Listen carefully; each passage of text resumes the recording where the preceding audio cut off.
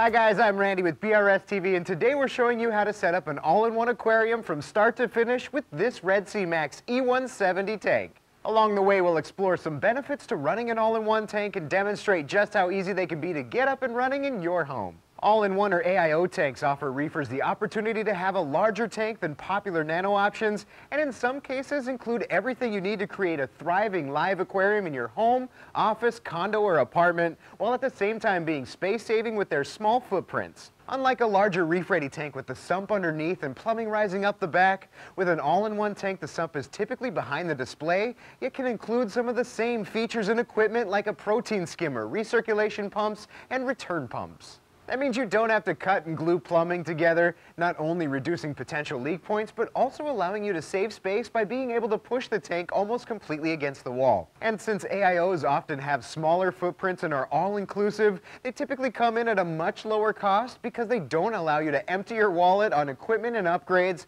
generally require less maintenance because everything is contained in one tank, great additions to an apartment or condo because of their lower weight, and even better choices to adding to your bedroom or office due to their nearly silent operation. Today we're setting up an example of one of these all-in-one systems with this 45-gallon Red Sea E-Series 170 that takes up less than 2 feet of space in length and in width and comes with all the essential equipment except a heater. The E-Series is a true all-in-one system, but also offers you the ability to transition into having a sump under the cabinet without having to completely drain the tank or start from scratch with their built-in bulkheads in the rear chamber and recessed cabinet panels which allow you to operate in AIO mode with an easy-to-implement upgrade path in the future. This E170 tank utilizes a single cord power center for providing power to your main equipment through seven switched outlets, two of which are open for anything additional you may want to add to the tank. Along with that, there are some well thought out features from Red Sea that make this plug and play tank one of the more stylish options out there,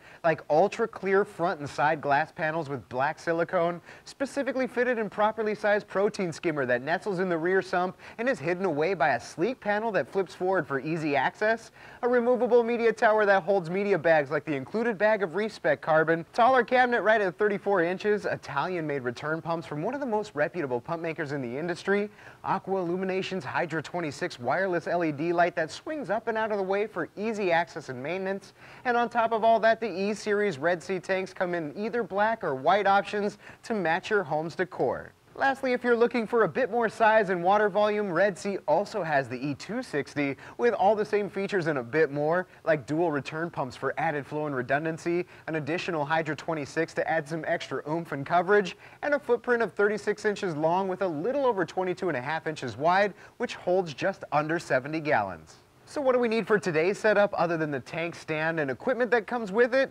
In order to maintain the tank temperature at 78 degrees, which is most commonly the target temp reefers aim for, I'll drop in a heater that's at least 150 watts like this Neotherm from Cobalt. For some substrate and rock structure for mounting corals and for biological filtration, I'm adding a single 20-pound bag of Arag-Alive special grade sand and about 40 pounds of Reef Saver rock. Of course, I'll also need water and salt, in which case I've got the Red Sea salt mix in the blue bucket and some reverse osmosis deionized water from our own RODI unit, but filtered water from your local fish store or purified water from the grocery store can also work. Along with that, I'll want to test the water and make sure I mix it to a salinity that the fish and corals I'll add down the road are accustomed to, and to do that I'll use a handheld refractometer like this. Finally, starting the beneficial bacteria colony is always best practice when setting up a new tank and can help the tank cycle take off, in which case I'll add a 4-ounce bottle of marine nitrifying bacteria from Dr. Tim's. Assembly of the E-Series stand is pretty straightforward, especially if you already have experience piecing together similarly styled flat-packed furniture.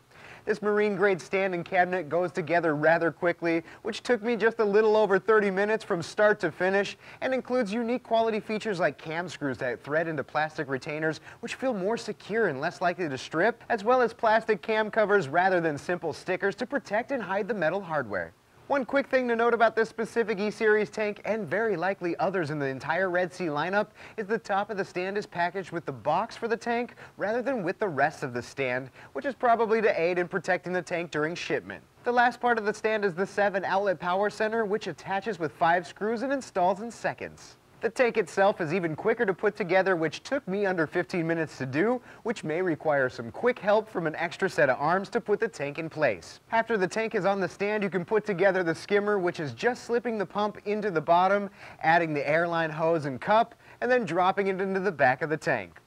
You can add the recirculation pump into its chamber after installing the adjustable nozzle, and all that's left to do is mount the Hydra 26 to the adjustable mounting arm. This again only takes a minute to do where you have to pop off the plastic fan guard, insert the screw retainer and thread the mounting bracket to the light. To keep with the clean and sleek nature of the Red Sea E-Series tank, they also include a cord management retainer track that sticks to the back of the tank and keeps all your wires in a single area, which also makes them easy to remove if needed. Although you may have already picked out the perfect place for your new all-in-one tank to go, here are some additional considerations worth taking into account. Placing your tank near an open outlet is pretty much a no-brainer, but choosing one that's preferably dedicated to just the tank is best practice. Likewise, the ideal tank location will be away from any direct sunlight as it may induce algae growth in those places where the light hits the tank. However, this isn't an absolute must. Finally, you may want to search for a spot that is relatively level to reduce unnecessary stress on the glass panels and for a more aesthetically pleasing look.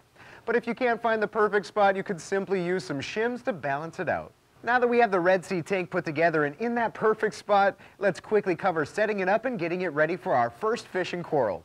As I mentioned earlier, for this 45 gallon tank that's 24 inches long and 22 inches front to back, I'll spread out my 20 pound bag of sand and stack the 40-ish pounds of Reef Saver rock into an awesome reef-like aquascape. After that, I'll mix the 50 gallons of salt water and test it with the refractometer to make sure it's at that proper salinity of 1.026 specific gravity or 35 parts per thousand, and then fill up the tank including the rear chambers. Now I can add in my 4 ounce bottle of Dr. Tim's One and Only and let the tank run with the light off for about a month to let it cycle, during which I'll only toss in a very small pinch of food every few days and top off any lost water from evaporation with fresh purified or RODI water. When that month cycle is up, we can add our first couple of fish and dose the tank with another 4 ounce bottle of Dr. Tim's. At this point, the tank may be just a bit dirty from the cycle, in which case we can add the included bag of Reef Spec carbon to the media tower, which should help to clear it up, and then program our lighting schedule on the Hydra 26. As is common with tanks this size, many reefers fill them with typically lower light demand corals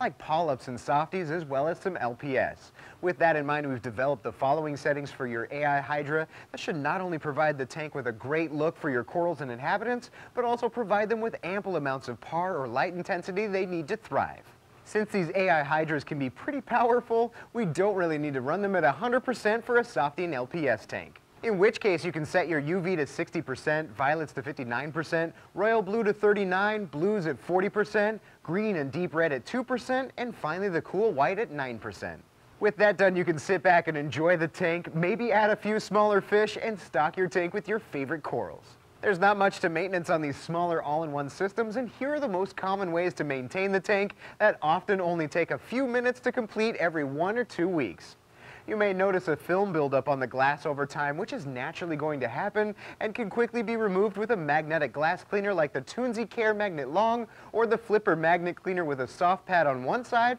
and a scraping blade on the other. Additionally, many successful reefers spend a few minutes every couple weeks to do a water change to help reduce elevated nutrients or unwanted contaminants that may fuel nuisance algae growth, which means for this E-Series 170 I'll probably change out about 10 gallons. While your tank is running, you can occasionally check on your skimmer cup to make sure it's not full, and when it does fill up, simply dump it, give it a quick rinse, and then put it back on. Lastly, feed your fish and corals with your choice of dry or frozen food every one or two days, but try your best not to overfeed the tank, which may leave you feeling like you're starving them because they can always look hungry. Long-term success across many reefers' tanks often share similarities in how they are maintained, and one of those similarities is careful and purposeful feeding of the fish and corals, as overfeeding could lead to more time and effort lost in maintenance than you bargained for. Although the E-Series aquariums are decked out in some top-notch gear, let's take a look at what you can add to accessorize your Red Sea all-in-one tank to help support a wider variety of coral and to help ease some general maintenance or housekeeping on the tank. Adding some extra flow and movement of water in the tank can be beneficial for some corals, in which case you could add one or two more power heads to the bag. We like these smaller 565 gallon per hour pumps from Hydor or one of their larger evolutions because they have a suction cup magnet coupling system where the back magnet is fully coated in rubber and will fit submerged in the rear chamber. As I briefly mentioned earlier, for filling the tank, replacing evaporated water, or for the occasional water change, some reefers opt for getting filtered water or purified water from their local fish store or grocery store. But down the road, if you get tired of transporting water back and forth, you could pick up your very own RODI unit, which will pay for itself and save you a ton of time. Finally, it's inevitable that your tank will evaporate some water each day, which means you'll want to replenish it every so often with fresh water. This can be done by hand as the tank needs refilling. However, most reefers opt for an auto top-off and reservoir to do the work for them. Your reservoir could be as simple as a 5-gallon bucket or something more polished like these 5 and 10-gallon acrylic reservoirs from Trigger, which could last you anywhere from a few days to a full week without having to fill. There's a few solid options for ATOs available, but one of our favorite is the Tunze Osmolator with an optical eye water level sensor and a redundant high-level float switch. Thanks for watching, and if you have any more questions that we didn't answer here, feel free to give us a call, send us an email, or hop on a chat. See you next time on BRS TV.